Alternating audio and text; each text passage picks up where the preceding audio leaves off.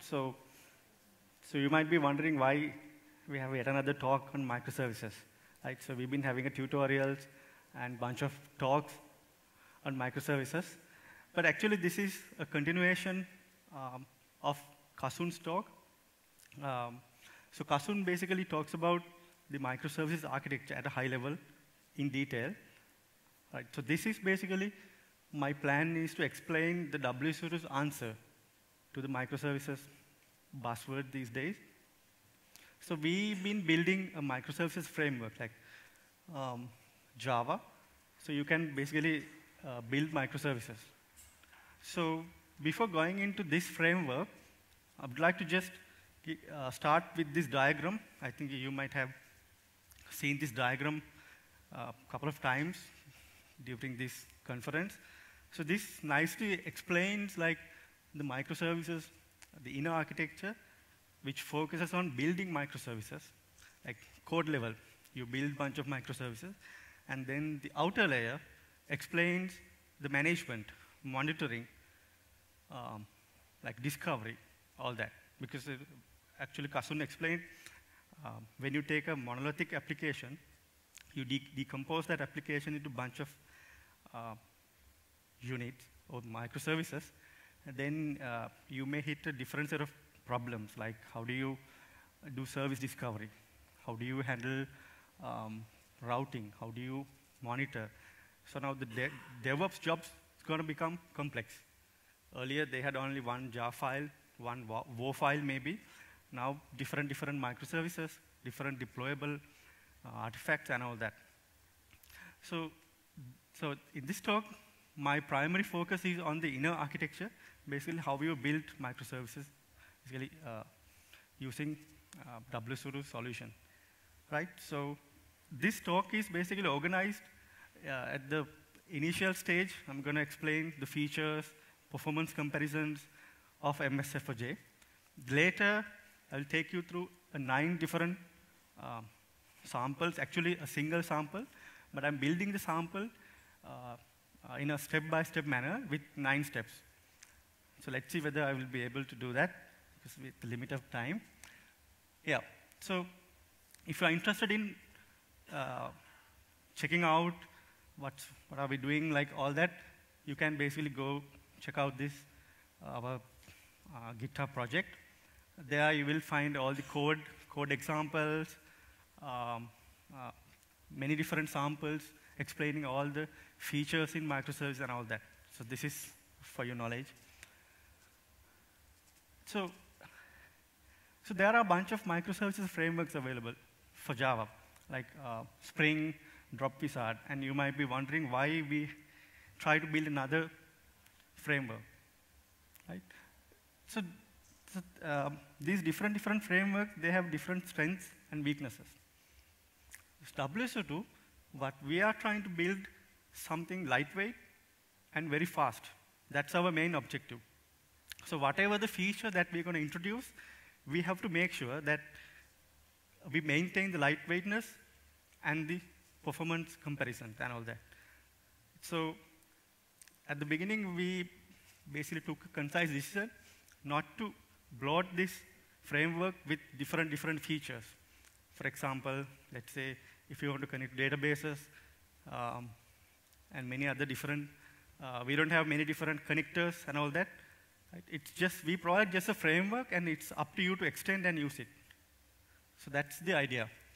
And, and also, to make it, make your developer development life easier, we basically introduce or basically reuse JAX-RS annotations. So I think most of you are familiar with JAX-RS annotations. So we leverage that, those features from Java. And also, um, we provide easy and simple way to de deploy, develop microservices. I will demonstrate that at the later stages. And also, these are some, some features like metrics, analytics, support uh, that comes from uh, the DAS. So if I go back to the previous diagram, even though in this talk I'm going to talk about microservices framework, but in WSO2, we have most of the bits and pieces. And using those bits and pieces, you can implement the outer architecture as well. But unfor unfortunately, with the time, I won't be able to um, talk about those uh, components. Yeah. So some information about the microservices implementation. It's based on the new Carbon kernel that is still working on that, and we are building all our products based on this Carbon kernel. And the transport is based on Netty. Uh, at the moment, the pack size is 5 MB and start with 300 milliseconds. And we just, the framework just need 25 MB memory footprint. So, so this is how we're trying to basically uh, keep it lightweight and high performance. So now I'll talk about the, the performance comparison. So we, we basically looked at different, different microservices implementations, all Java-based right? So this diagram shows the throughput versus concurrency. So we kept on increasing concurrency, and we monitor how these different, different implementations um, uh, handle through, throughput, I mean, the result of the values. So you can see so different, different implementations, uh, and they came up with result, the, the throughput values different. So if you want to try out these test cases yourself. Um, all the code and the test suite are available in our GitHub repo, and all the instructions are there, so you can just try out yourself and verify these details. So the next diagram, basically we have monitored the memory growth when you kept on increasing the concurrency and how these individual different, different uh, frameworks behave. So you can also refer this diagram, and all these diagrams are available and the documentation available in the GitHub project. I'm not going to talk about these data. You can see the uh, differences. So, core features of microservices framework. So we want you to quick, we want you to build solutions, microservices easily.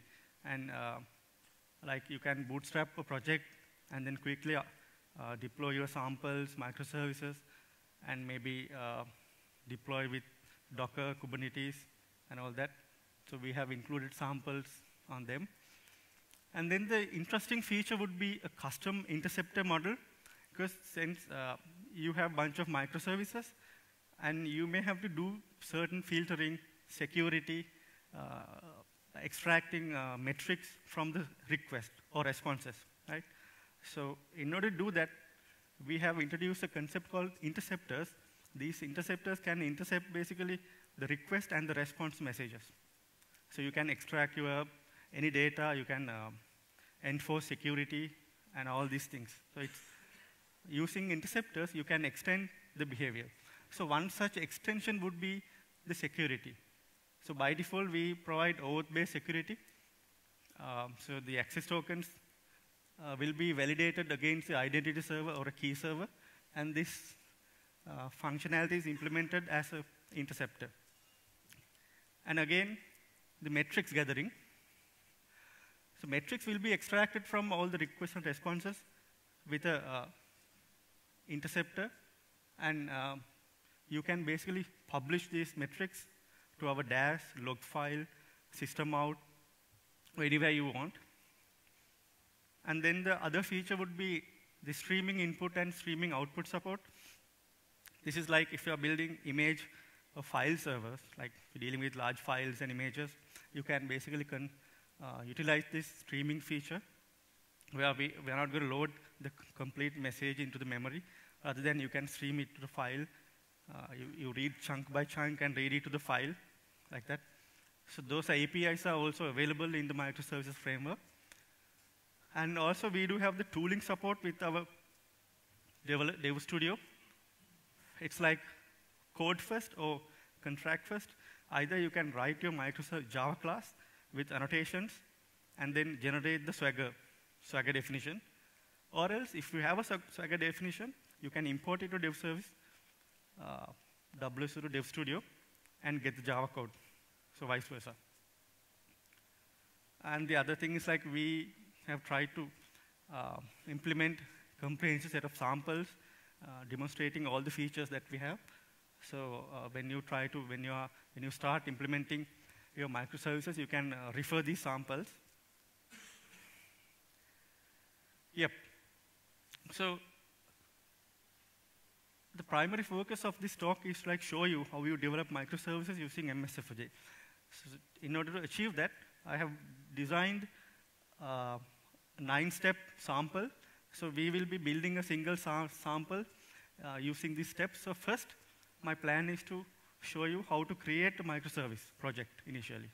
So I'm building a Maven project and open it using IDEA or Eclipse.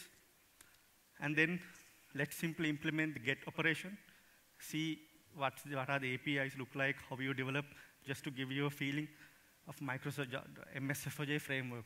And then add, add pet operation. Uh, then we will be completing the, show, I'll show you completed microservice with all the metrics integrated to show you how you, how you can gather matrices. This, this sample is about a pet store where uh, I'm, I only focus on the pet service. So that bunch of operations for you to, um, let's say, uh, you can add pets, remove pets. So it's a part of an e-commerce application, let's say called Pet Store. It's one single microservice. And then um, we look at the exception mapper support that is available from the JAX-RS. Basically, you can return uh, custom exceptions uh, from your code.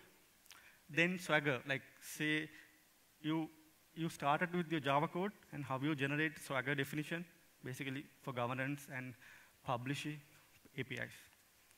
And then how you secure your API. We can do a demo. Then the last two demos, my plan is show you how you run a WSO2 microservices, or the uh, service developed using MSFJ, using Docker, and then we'll show you how to create a Docker file, a Docker image, and then a Docker container.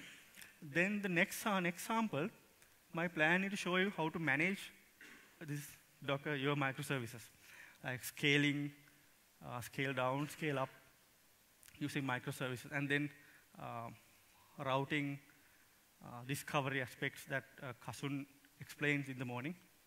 Right. So let's start with the first sample.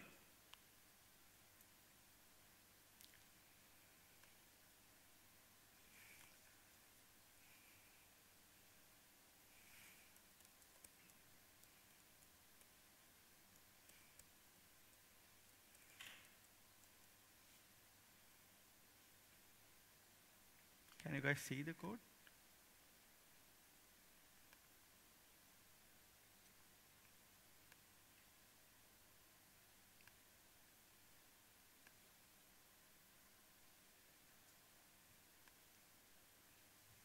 Yeah, it's okay, right? Yeah, so because of limited time, I have prepared all the uh, commands that I'm going to use during all the samples, so I can just copy and paste without wasting, without typing, and even if I forget, I can just uh, copy and paste, right? So if you are like Maven, if I get, if I use to Maven, uh, you can basically use our Maven archetype. I will show you like, right? This is a sample Maven archetype that we have developed as part of the microservices project. So first, uh, all the documentations available. I will explain like, you, you first need to provide the, uh, the group ID, uh, the artifact ID, and the version, and your package structure, the base package of the project, right?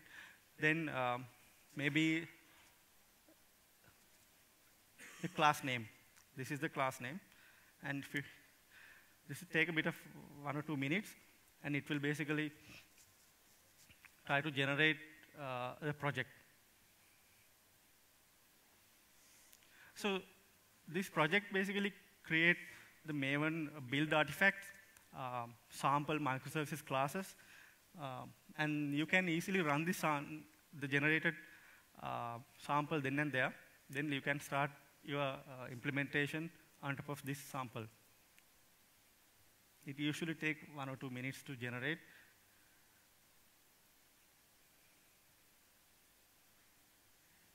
So once this is generated, you can use Maven commands to build, uh, like Maven clean install, and also if you want to open up this project using uh, uh, IntelliJ IDEA or Eclipse, you can use uh,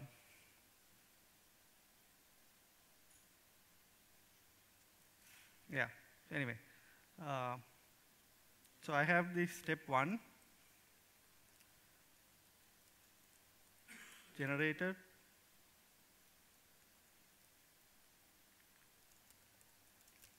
So all the steps, step zero one. And if I open this, like you can Maven,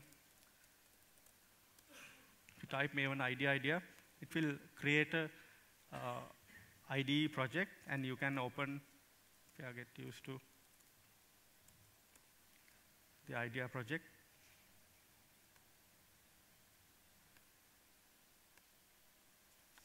You can't see,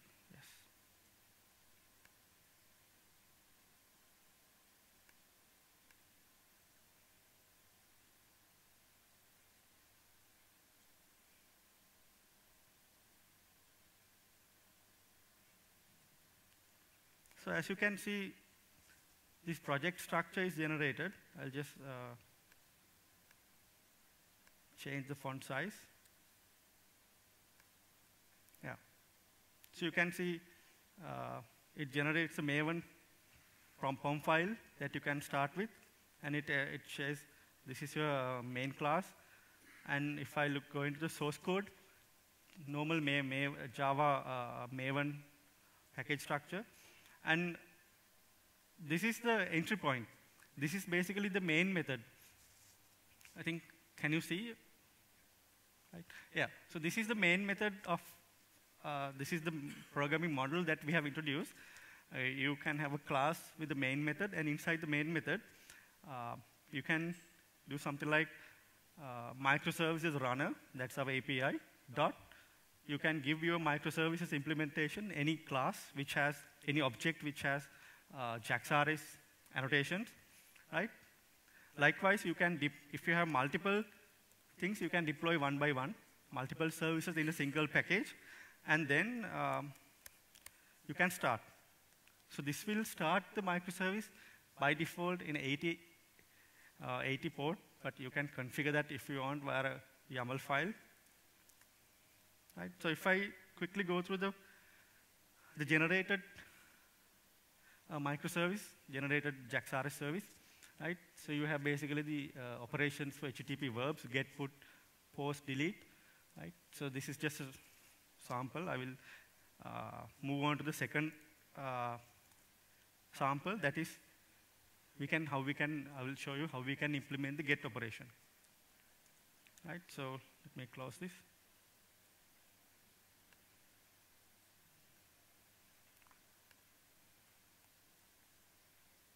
Yeah. So here, yeah.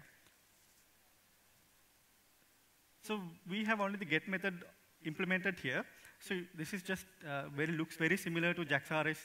Right? So you have get, and uh, it accepts a parameter called string ID, path parameter, and then it returns a response. This is uh, a JAX-RS API. You can pass a response. So here, what I'm going to do is, I have used like a, a dummy storage called petstore utils, and you can pass the ID. It will give me a pet object. So if I quickly go through this, I have add a static pet object for the demonstration purposes, and this will uh, check the map and return the storage. So I have used like, uh, right? So here, what, what this means is,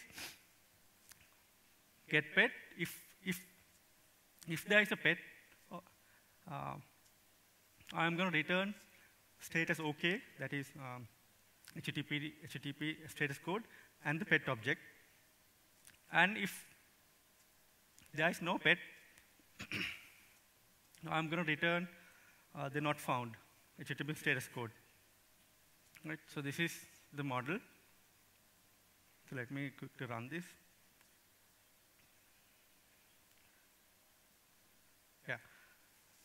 Fortunately, you can't see this, so uh, it says uh, started on port 8080 and in 300 odd milliseconds. So let me quickly use a curl command as a client just to invoke this localhost 8080. So the path would be, if you check the pet service, the root path is pet, right? So it should be, uh, the HTTP verb should be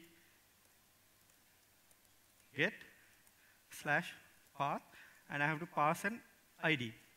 So in my, I have a dummy ID here called pet001. Let me just copy that and put. Sorry?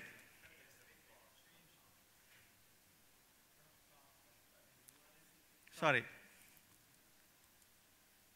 It should be pet. Yeah, here you go. So you get a JSON. So let me quickly uh, copy this JSON uh, somewhere here.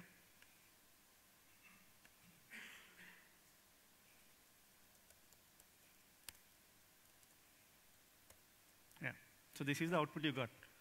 Right, so because here we have produces JSON, right?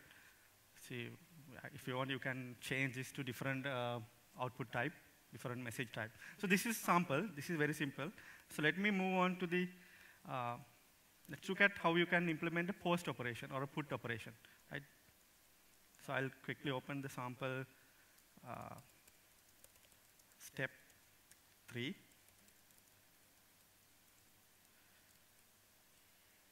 Open the IDEA project. Yeah. So if I look at the, the pet service, now I can see the, uh, the post operation. Add pet, it's very similar. Produ this now, now this, this method accepts a pet. So it uh, uh, consumes an application JSON object, and then it's mapped to the pet like by the framework. And we, I first check whether uh, there's already a pet with the same ID available in my store. Very simple logic. And then if, if yes, I basically send a response with the conflicts, I think 409. Right? Pet, pet with same ID exists. Or else I edit and send a OK response. So let's quickly uh, test this. So I have the command to test. So quickly.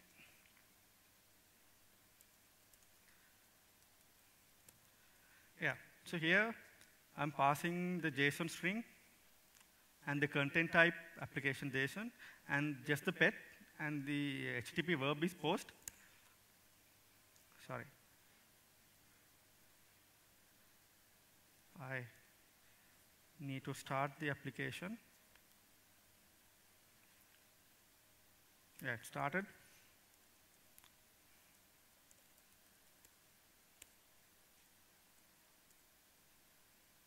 So I got a uh, 200. Now if I try to basically get it, use the curl get.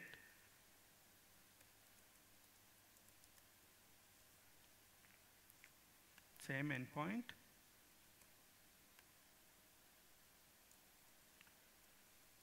Pet 002, I'm getting. Now if I try to post, let's say just to show the, the error handling part, or the same one, I should get a 409 conflict, the RESTful way of handling the conflicts and all that. So this is just the uh, post. The put is the same. Put means you are like doing an update, right, in the RESTful world. Um, so let's look at the, the fourth sample uh, quickly, that, that uh, you can see the complete implementation. So you can see the, uh, the put method implemented, same manner, same code, and the delete, right? So if you look at this slide deck, the fourth sample, my objective was to like uh, complete the pet sample with metrics. So this will I quickly show you how you can gather matrices. Right? So for that, there are various uh, annotations that you can use. So we have in WSO2 metrics framework have introduced bunch of uh, annotations like this is called at timed. So you get, you get the, uh, uh, the request count, average, uh, minimum, maximum, response time, request time, all that, some information. So if you put the time, and there are other annotations that you can push to HTTP, and you can just get the count and all that. So if you go to the, our documentation, you can find various annotations, right? So, and also if you look at this, um, the application, the main method, you can see I have, I have added an interceptor here. So this is how you add an interceptor to intercept requests and responses. Um, think if I can show you a sample interceptor, the API. The API is something like that. You have a method called pre-call and post-call. Uh, you can intercept requests and you can intercept responses. That's simple. Uh, so if you add this metrics interceptor and pass some parameters, you can collect uh, matrices. So here, the, what I'm trying to do is, when I init, I pass two uh, properties like metrics reporter console. So report metrics to the console, they're running. Right? And also re report JMX. If you connect JMX, you can see. Likewise, there are like some other types, J Dash. If you have a DAS server running, you can uh, pass matrices to DAS and build dashboards and all that. But I'm not going to show that because of the limited time. So let me quickly run this. And the other thing, I have set a system property here. Report statistics in a 15 seconds interval to the screen and also to the JMX. So it will report statistics in every 15 seconds. You can change that. Right, so let me quickly, uh, yeah, even though I haven't, uh, not sure whether you can, I, these are like all the JVM level statistics you get, but since I haven't invoked any services, I don't have any service level statistics, so let me quickly uh, invoke, let's say get and also a post. Yeah. So let's see. Fortunately, I can't, I don't know how to increase, uh, but I will copy and paste it and show you the output. Yeah. So here you should get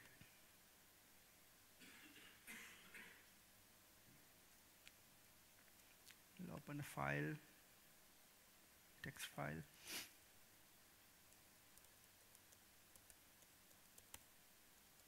Yeah. So here, these are all JMU11 statistics. If you're interested, you can uh, build. Uh, so the other ones are like from the annotation, the timed annotation you put. This is for the AdPet. You can see the number of requests, uh, different different statistics, and the other one, GetPet, and the same sort of. So these are like, uh, since I have used just the timed, uh, you're getting basic set of annotations, but you can uh, improve that also. I'll quickly move to the next exception mapper. So let's see uh, in my uh, in all these samples, we've been basically if there are exception, we've been all sending these. We we didn't throw exceptions or anything, right? So let's see how you can throw your custom exceptions and then convert those custom ex exceptions uh, to meaningful messages to the client, right? So for that, JAX-RS, you have something called um, exception mappers. So let me quickly open project. Step, think it should be step five.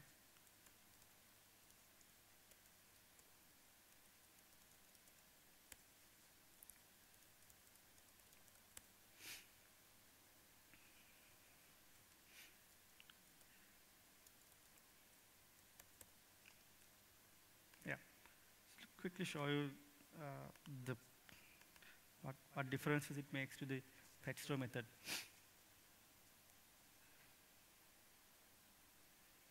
Yeah. So if you look at this uh, add pet operation, so you can see earlier I had if inside the if condition, I just send the response message. Now I'm basically throwing my own custom ex exception, right? And so this exception uh, in the JAX-RS world, you, for this exception, you have to write a, a, mapper that is called exception mapper. Let's say duplicate pet mapper. Here you define the output. You define if you get an exception of duplicate pet, how you handle it. So in your code, every places you can just uh, send uh, these exceptions, and you can handle, you can uh, uh, basically configure how to pass these messages to customer or your client, like here, like here, media type text plain. I'm passing a simple error message with the HTTP status code config. So I don't, now I don't have to do this each, each and every place. I can simply use uh, this duplicate pet exception, right? So, and also pet not found exception. Like, this is like uh, making your code look better, right? So, so I'll quickly move on to the next. Swagger support. So Swagger, it's like this. Should be six. If I go to uh, my pet service, I have added some uh, Swagger annotations here. So you can see Swagger definition. This is like you describe your API, the high level. Uh, basically, uh, who the developer is, what licenses, and some title, description, and all that. Then each method level, you can define your operation, responses, and all that. This is like typical Swagger annotations, right? And you, and you can start this application, and then we'll see how you can get the Swagger. Um, so if you go to browser, uh, let's say TP uh, localhost. Um, this is Swagger. You can give path. So your path, you're interested in path pet, right? Slash pet. If you enter this, you will get, I'll copy and paste to the IDE. And basically put it like JSON. So you can see your Swagger definition now with all the details that you put it. So this is like a, uh, what I did was a code first approach. I write the service and get a uh, Swagger definition. Now you can share this Swagger with someone else and ask him to invoke. And also you can, if you, if you know how to write Swagger or if you tools, you can write this Swagger and import this to our Dev Studio. It will generate the code, skeleton, right? So that's all. Simple. Now the next sample would be security. So, so for that, I have a, a slide which explains the concept. So the, this way, what I'm going to do is, now client has to basically talk to an identity server and get an access token, or OAuth token, right? And now he can pass the access token to the microservice. So there is an interceptor waiting and it will basically get, extract the token and again talk to the identity server to validate the signature and all that, right? And then if the token is valid, it will let you in. So th this is the idea. Uh, I'll quickly show you how you can uh, do this.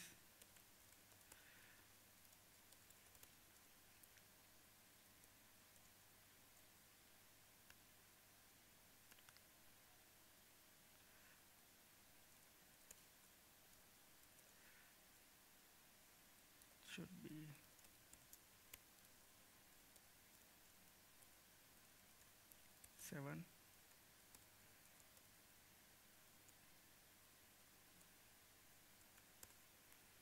Yeah.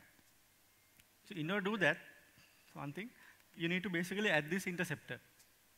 So this is like OAuth security interceptor. This will basically intercept messages and enforce security. Likewise, if you have your custom security mechanism, you can implement this and you can do it. So it's so that's simple. Um, if I start this, I have a I have a run I have identity server already started in my machine, and if I go to the identity server UI, like quickly I'll show you that uh, I have a OAuth application created. So if you service providers, this is like, and then inbound authentication, OAuth 2. So I have a OAuth application created, and now I have a uh, sample, um, which basically this, if you run this, you will get a new access token from your identity server. This is the client side. Um, so you go to the client side, if you are the client, uh, you basically invoke this.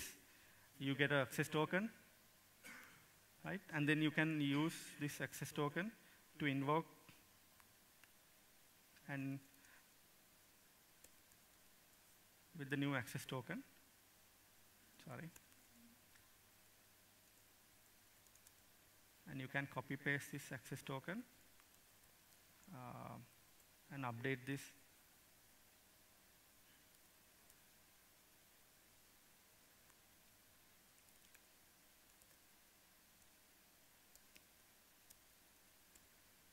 Yeah.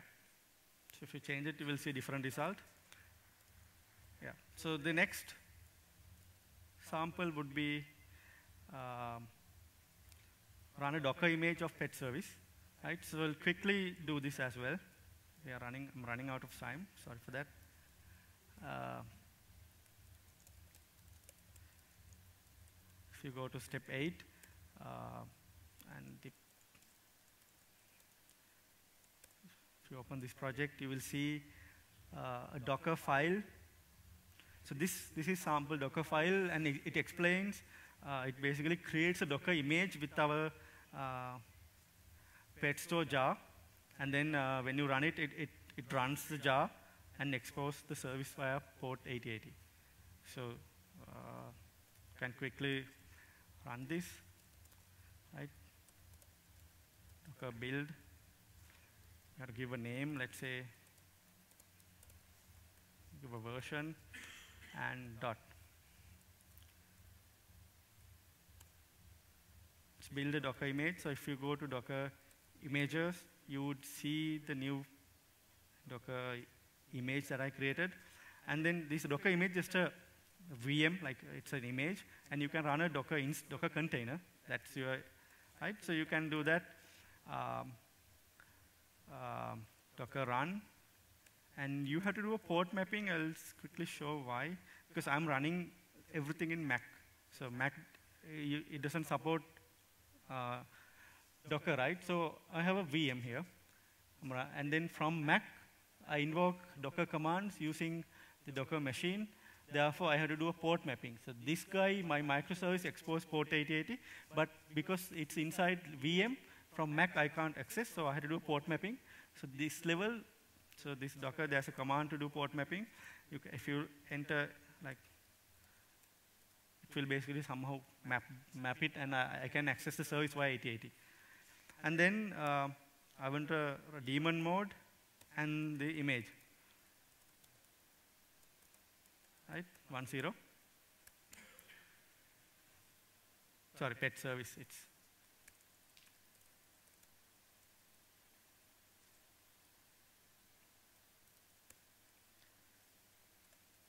Sorry, but let me name change.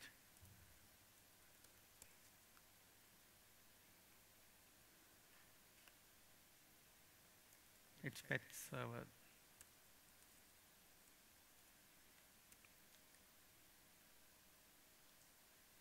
Anyway.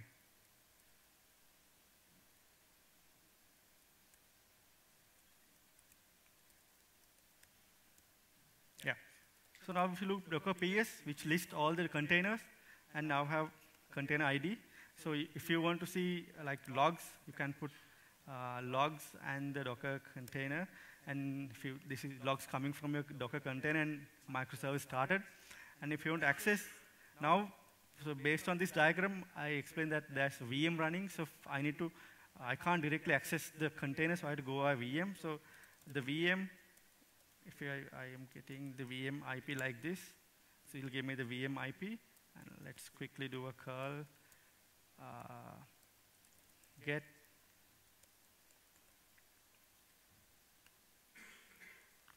um,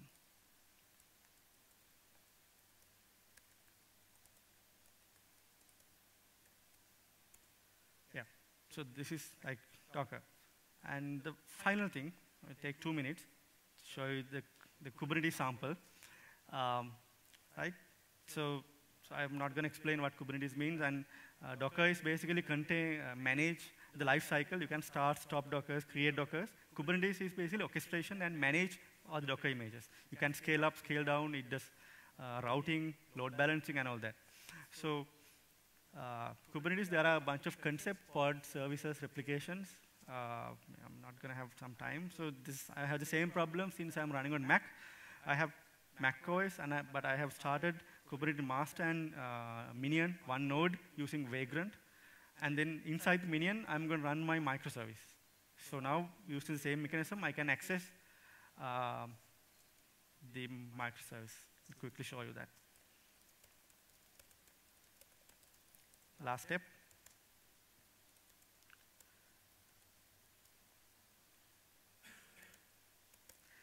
Yeah, so here I have uh, so same, I'm using same Docker image, and I'm gonna, I have written two uh, Kubernetes YAML my files. One file is to start up a, a, R controller, like, so I don't have time to explain. The, this is a replication controller, and then the Kubernetes service.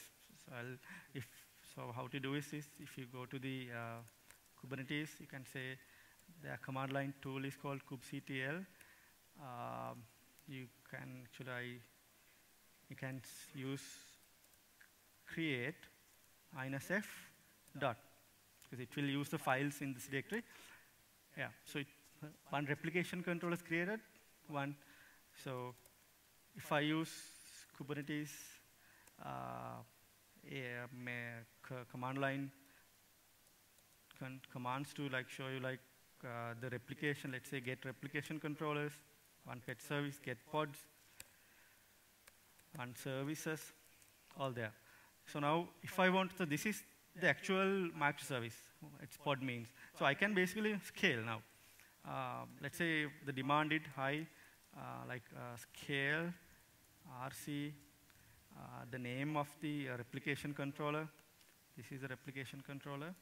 Uh, and replicas equal, let's say, 5. Not sure. Yeah. Now, if you say kubectl um, get pods, you would see five different microservices running.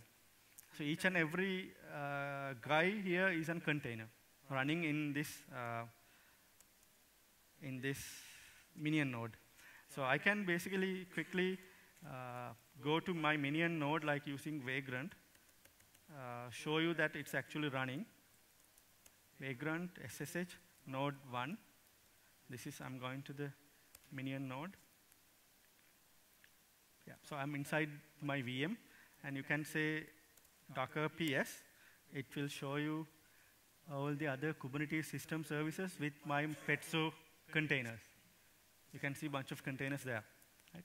So this is uh, like starting from the project, how you orchestrate, how you develop a microservice application and moving it to production. So this sample.